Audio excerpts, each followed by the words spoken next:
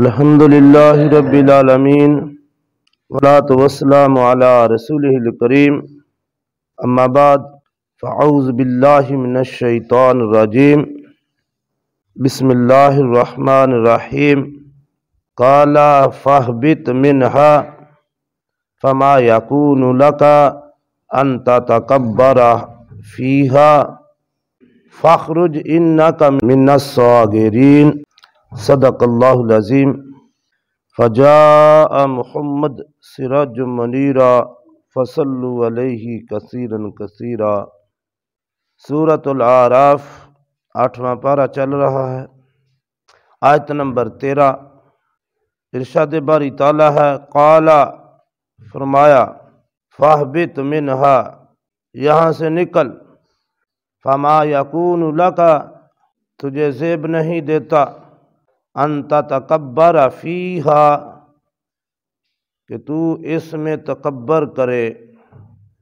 فخرج پس نکل جا، انکا من الصاغرین، بے شک تو ذلیلوں میں سے ہے۔ یہ اس آج کا ترجمہ ہے۔ تذکرہ ابلیس کا ہو رہا ہے کہ ابلیس نے حضرت آدم علیہ السلاۃ وسلام کو سجدہ نہ کیا۔ اللہ کے حکم کے باوجود وہ انکاری ہوا تو اللہ تبارک و تعالیٰ نے اسے فرمایا کہ نکل جا یہاں سے۔ تو اس قابل نہیں ہے کہ اللہ کے قرب و جوار میں رہے۔ اللہ کیا سمجھانا چاہ رہے ہیں؟ کیوں اس قصے کا تذکرہ ہوا ہے؟ اور قرآن پاک میں کئی بار ہوا ہے۔ سورہ بکرہ میں بھی چوتھے رکوع میں یہ قصہ آیا تھا۔ کیوں ہوا؟ اس میں بہت سے ہمارے لیے سبق ہیں۔ اور سب سے بڑا سبق یہ ہے کہ یہ شیطان ہمارا ازلی دشمن ہے۔ اس سے دوستی نہ لگانا۔ اس سے دوستی بہت مہنگی پڑے گی۔ یہ تمہاری دنیا اور آخرت دونوں کو برباد کر کے رکھ دے گا۔ لہذا تم اس سے بچنا، پہلی بات۔ دوسری بات، جو عمل شیطان نے کیا ہے، اس سے بچنا ہے۔ اس نے کیا عمل کیا؟ تکبر کیا۔ اور انسان کے دل سے تکبر کا نکلنا، یہ بڑی محنت طلب کام ہے۔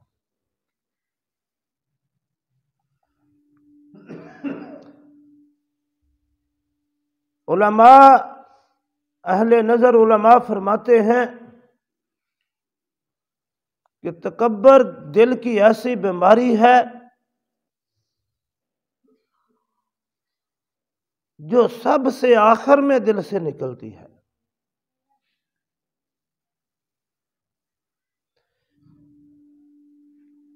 ابلیس نے ہزاروں سال عبادت کی۔ بڑا عابد تھا، بڑے، بڑا عبادت گزار۔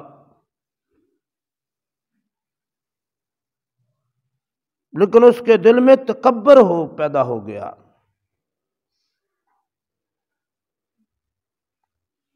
تو اس نے تکبر کی وجہ سے سجدہ نہیں کیا کہ یہ مجھ سے بھی کوئی بڑا آ گیا ہے۔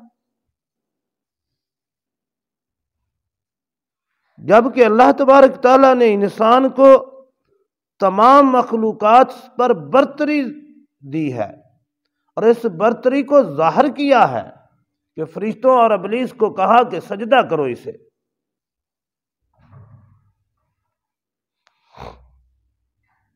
اور سب نے سجدہ کیا ہے مگر ابلیس نے نہیں کیا۔ کیوں نہیں کیا؟ کہنے لگا، میں اس سے بہتر ہوں۔ تکبر کا شکار ہوا۔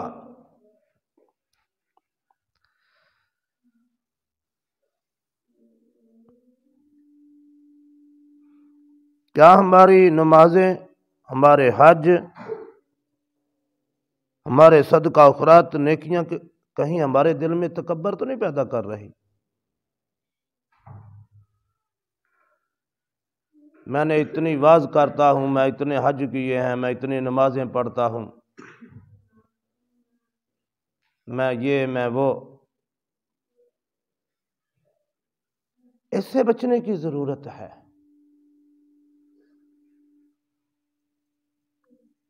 یہ تو وہ عمل ہے جس سے شیطان مردود ہوا ہے۔ تو جب اس اور دوسری بیماری کیا ہے؟ حسد۔ اس نے حسد کیا۔ کہ آدم مجھ سے بہتر۔ یہ حسد بھی بہت بری چیز ہے۔ تو اللہ نے فرمایا کالا فہبت پس نکل جا۔ جھٹک دیا اللہ نے دفع جا۔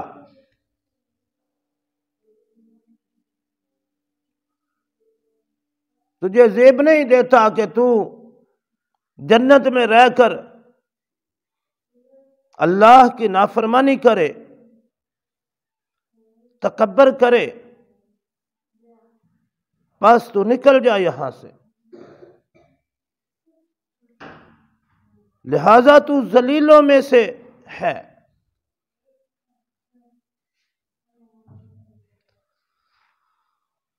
ساگر کہتے ہیں زلیل و رسوا۔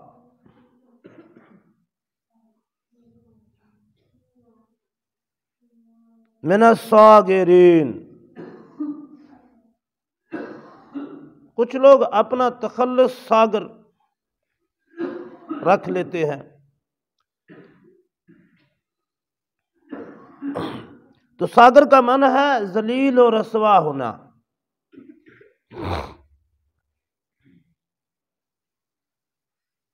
تو زلیل و رسوا ان دو وجوہات کی سے ہوا۔ ایک تکبر، دوسرا حسد۔ حضرت ابن مسعود رضی اللہ تعالیٰ عنہ فرماتے ہیں کہ حضور نبی اکرم صلی اللہ علیہ وسلم نے فرمایا، لا يدخل الجنہ۔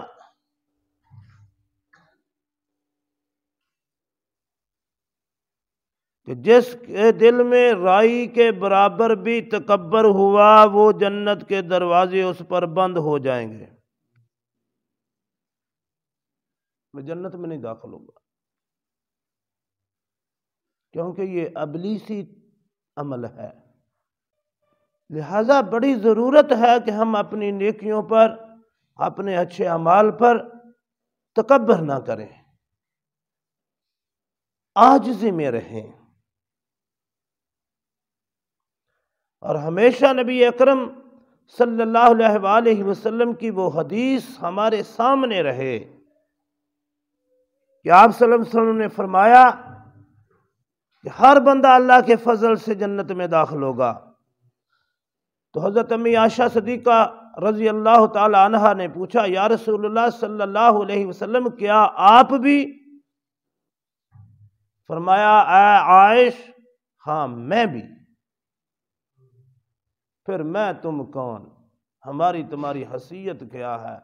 ہمارے پلے کیا ہے؟ کہ ہم اکڑتے پھریں، تکبر کرتے پھریں اپنی نمازوں پر، اپنے حجوں پر، اپنے زکوٰۃ پر، اپنے صدقات پر، اپنی نیکیوں پر۔ بات تو اللہ کے فضل سے بنے گی۔ تو لہذا تکبر سے بچنا ہے۔ اے زاہد، کسی رند کو نگاہ کم سے نہ دیکھ۔ اے زاہد، کسی رند کو نگاہ کم سے نہ دیکھ۔ نہ جانے اس کی نظر میں وہ ہے کہ تو پسند۔